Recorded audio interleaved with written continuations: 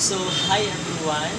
I am currently here at the Metropolitan Cathedral of the Immaculate Conception. It is a church which located here in Zamboanga City, Philippines, and a landmark of Zamboanga City completed in 1999. And it is perhaps the most or the country's most modern cathedral and with an elevator. So, come on.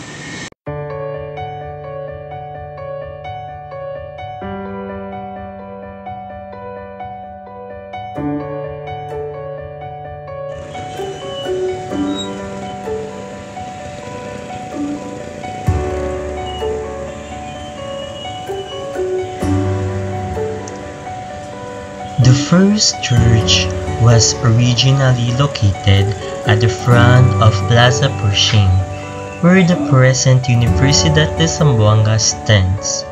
The church was designated a cathedral in 1910 when the Diocese of Zamboanga was created. In 1943, the cathedral was one of the edifices bombarded by Japanese soldiers during World War II. In 1956, the cathedral was relocated beside Ateneo de Zamboanga University, formerly known as the Jardín de China. The present structure of the cathedral was built in 1998 to 2002 in cruciform, of which the candlelight design is appropriate to the cathedral's patron. Inside the main church is marble statue of the Immaculate Conception designed by Philippine national artist for sculptures Napoleon Abueva. Along the aisles are the stained glass symbolic images of all dioceses in Mindanao from 1910 to 1984.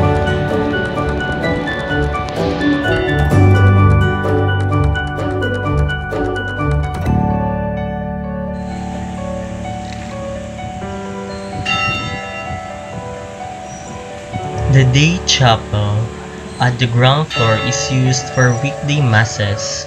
Fronting the day chapel is the baptistry with a relic of Our Lady of the Pillar, the patroness of the city.